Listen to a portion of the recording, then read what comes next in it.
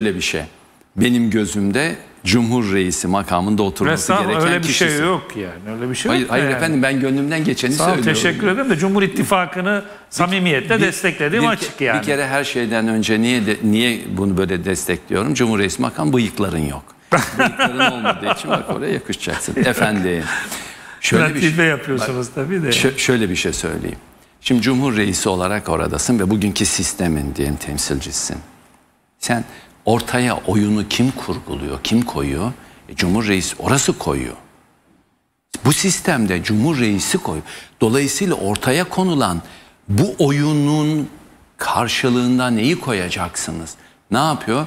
Karta kartla karşılık veriyorlar. Ha, bunun sonunda hangisinin aklı galebe çalacak ben onu bilmiyorum. Onu çözemem. Onu çözemem. Çünkü Millet İttifakı bileşenlerinin nedenli akıl ustası olduğunu gerçekten bilmiyorum. Ama bildiğim bir şey var. Tayyip Bey son son bir iki yıla kadar gerçekten çok ciddi biçimde akıl oyunları yaptı ve hep arkasından sürükledi. Ama ne zaman ki bu sisteme geçti şimdi muhalefet akıl oyunu ortaya koyuyor ama bunun sonucunu alır almaz ben onu bilmem. Şimdi ben de şöyle ilave edebilir miyim? Şimdi Buyurunuz. demokratik unsurlar ve demokratik yapılar dediği şey yani dünyanın yeni düzeninde bunlar sivil toplum kuruluşları.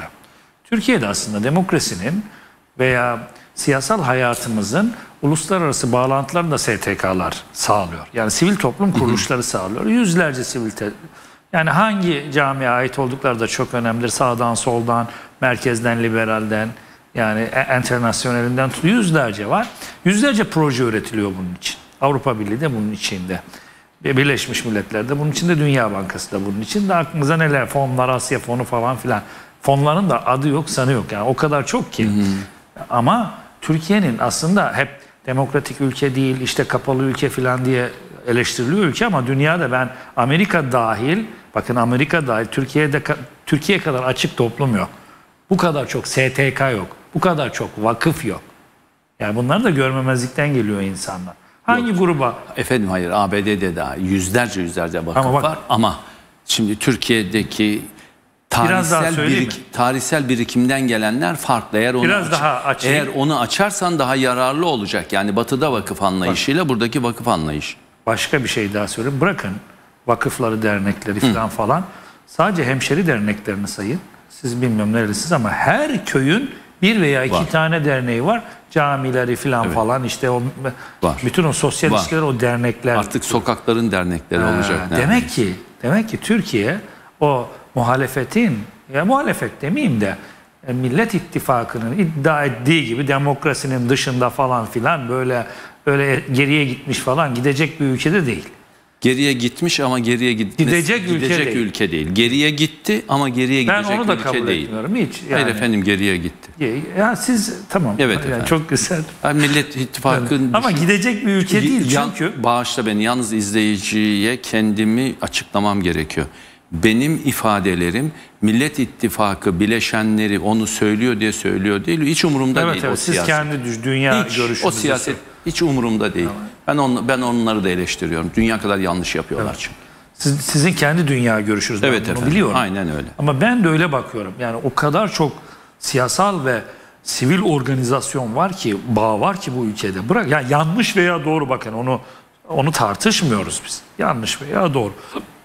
Toplum örgütlenme örüntüsü içinde.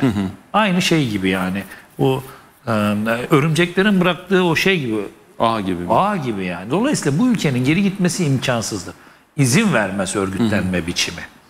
O yüzden mesela ben onun için dedim ki bakın Türkiye'deki aslında biz dış politik üzerinden her şeyi konuşuyoruz. Odaklanmamız işte Türkiye'nin konumu üzerine, strateji, o stratejisi üzerine, güneyimizde Doğu Avrupa falan çok önemli değil. Bakın o kadar kolay ki dışarıdan e, söylediniz işte görüyor bakıyor Amerikalısı bakıyor Avrupalısı Türkiye'yi çok iyi bildikleri için aa böyle de bir mail var. O zaman ne yapıyor siyasi örgütlerle beraber hareket ediyor. Ne yapıyor? CHP'ye açık destek veriyor. Biden verdi zaten.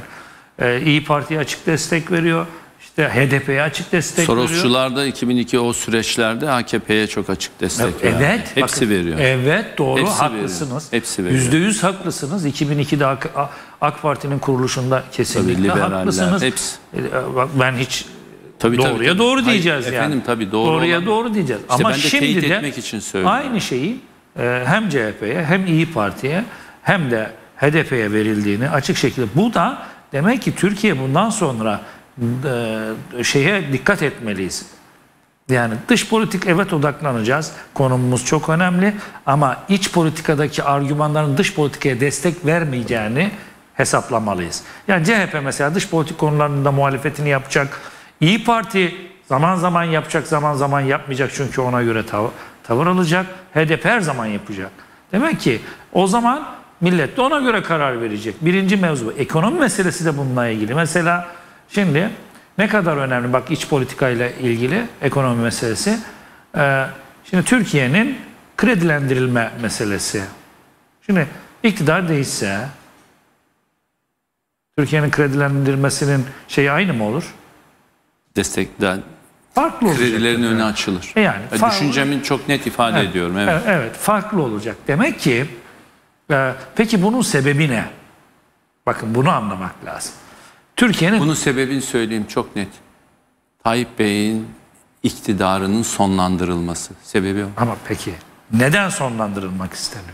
Çünkü söyleyeyim şöyle de düşünülüyor. Tayyip Bey dünyanın da dengesini bozdu diye düşünülüyor. Hayır, ben de şöyle söyleyeyim. Bak onu anlatmak lazım. NATO'nun da- Tabii bu sizin Yok Tabii hayır ben tabii. dışarıda bakış Tabii, olarak bakış açısı. söylüyorum. Şimdi ben de kendi görüşümü söylüyorum. Türkiye'nin yeni dünyadaki düzeni sadece ve sadece Karadeniz ve Rusya'nın sınırlandırılmasıyla ilgili. Hem Doğu Avrupa'da hem Karadeniz'de hem Güney Kafkasya'da pozisyonu budur. Bize biçilen pozisyon budur. Ama Türkiye Soğuk savaş döneminde de öyleydi. öyleydi. Şimdi Şimdi de de, öyle. böyle. Çünkü bizim pozisyonumuz burada. Ee, İngiltere'nin pozisyonu belli, Avrupa Birliği'nin pozisyonu belli. Ama bizim Doğu Akdeniz'deki ve Güney koridorumuzdaki mesele halledilmiş değil. İşte Türkiye bu açıdan e, Doğu Akdeniz'deki ve güneydeki terör koridorunda yeni yapılanma için yani Amerika'nın ve dünyanın istediği bu Kürt devleti de olabilir. Kuzey Kıbrıs Türk Cumhuriyeti'nin topraklarının entegre edilmesi olabilir. Söylemiyorum bunları. Yani ne olabilir Olabilir, söylüyorum. tabii, tabii canım. Dolayısıyla bunları, üzerinde. bu olasılıklarda yeni bir hükümet gerekir. Buna AK Parti AK Parti diye bakma buraya. Cumhur, Cumhur İttifakı İttifakı. bunu yapamaz. Millet çünkü buna müsaade etmez. Daha do- daha doğrusunu senin söyleyemediğini ben söyleyeyim. Daha doğrusu Devlet Bey orada var olduğu sürece, Sürece bunun müsaade imkanı yok. etmez. Evet, İmkanı anladım. yoktur. Dolayısıyla ama Cumhuriyet Doğru. Halk Partisi, HDP ve İyi Parti bunu rahatlıkla yapabilirler. Mesele budur Türkiye'de. Özeti budur yani. Ben o yüzden şimdi Şimdi bu söylediğin söylediğin niye olasılık olarak olabilir? Annan planına AKP evet dedi bu topraklarda. Evet. kimle gösteriyor beraber olabilir. söyledi hatırla. Ola- HDP ile beraber. Tabii. O zaman çözüm süreci vardı.